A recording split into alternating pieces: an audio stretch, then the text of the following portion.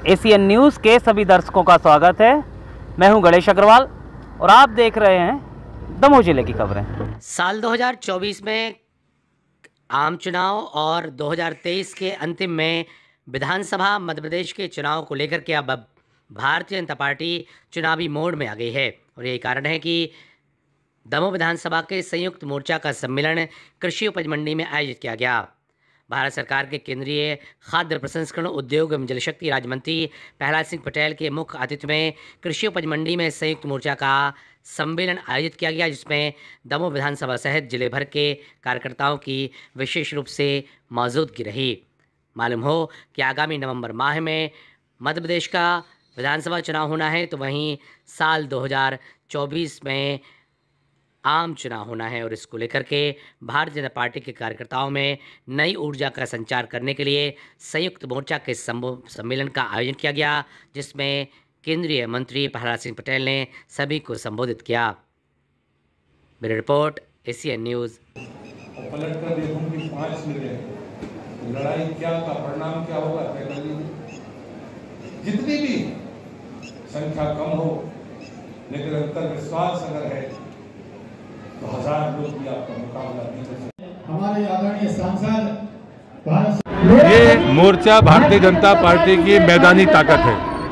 युवा मोर्चा महिला मोर्चा पिछड़ा वर्ग मोर्चा एससी मोर्चा एसटी मोर्चा पिछड़ा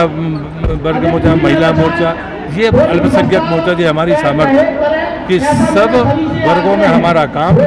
सब वर्गों से हमारा संबंध और सबके लिए सबका विकास इसके लिए ये ज़रूरी है कि ये ही हमारी इन्फेंट्री है। और ये अगर उत्साह के साथ में मैदान में है तो दुनिया की कोई ताकत हमको नहीं हरा सकती। आज केंद्रीय मंत्री प्रहलाद सिंह पटेल जी के मार्गदर्शन में, आदरणीय प्रीतम जी के दिशा निर्देश में संयुक्त मोर्चा का ये कार्यक्रम मंडी में रखा गया है, क्योंकि चुनाव के लिए समय कम बचा है। तो पूरे इच्छा शक्ति के साथ और इलेक्शन मोड में भारतीय जनता पार्टी काम करने को लेकर आज से किया है सवेरे मन की बात, उसके बाद युवा मोर्चा की रैली और उसके बाद संयुक्त मोर्चा कार्यक्रम। तो निरंतर इलेक्शन बोर्ड में भारतीय जनता पार्टी पूरे प्रदेश में कार्य कर रही है, उसी क्रम में ये जम्मू में संयुक्त मोर्चा कार्यक्रम हुआ है। हमारे देश के प्रधानमंत्री आदरणीय नरेंद्र मोदी जी के नौ वर्ष का कार्यकाल पूर्ण होने पर देश भर में भारतीय जनता पार्टी विभिन्न प्रकार के कार्यक्रम कर रही है, जिसमें भारतीय जनता पार्टी के वरिष्ठ कार्यकर्ता सम्मेलन हमारे लाभार्थी सम्मेलन, हमारे मोर्चों के, सभी मोर्चों के सम्मेलन, इस प्रकार से हर मोर्चे का, हर कार्यकर्ता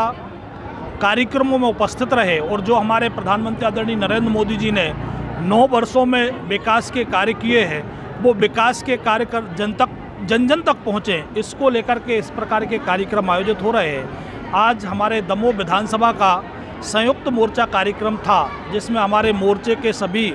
पोलिंग बूथ से लेकर जिला स्तर तक के पदाधिकारी इस कार्यक्रम में पधारे हैं और भारतीय जनता पार्टी की जो जनहित जनहितैषी योजनाएँ देश भर में चल रही हैं, उन योजनाओं को 20 जून से लेकर 30 जून तक घर घर चलो संपर्क अभियान होगा। उसमें हमारा प्रत्येक कार्यकर्ता घर घर जाकर के और हमारे केंद्र सरकार की योजनाएँ और हमारे प्रदेश सरकार की योजनाओं का पत्रक लेकर के जाएगा और जन जन को बताएगा कि भारतीय जनता पार्टी क्यों आवश्यक है। भारतीय जनता पार्टी ने इस देश में क्या किया है, इस प्रदेश में क्या किया है और वो सारी जनहितैषी योजनाएँ उन तक पहुँचाने का काम भारतीय जनता पार्टी करने वाली है। इसलिए ये सभी सम्मेलन हो रहे हैं। आज का कार्यक्रम में माननीय केंद्रीय मंत्री जी पधारे और उन्होंने हमारे मोदी सरकार की योजनाओं के बारे में विस्तार से हम सबको मार्गदर्शन दिया है।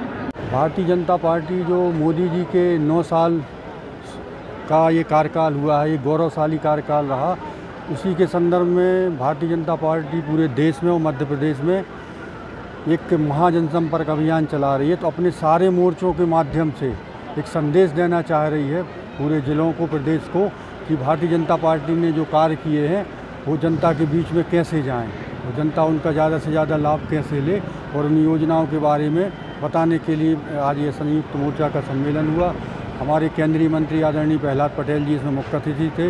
एवं पार्टी के सभी पदाधिकारी यहाँ उपस्थित थे, सभी मोर्चों के अध्यक्ष थे, सभी मंडलों के अध्यक्ष थे और एक अच्छा कार्यक्रम आज भारतीय जनता पार्टी मोर्चा के द्वारा किया गया।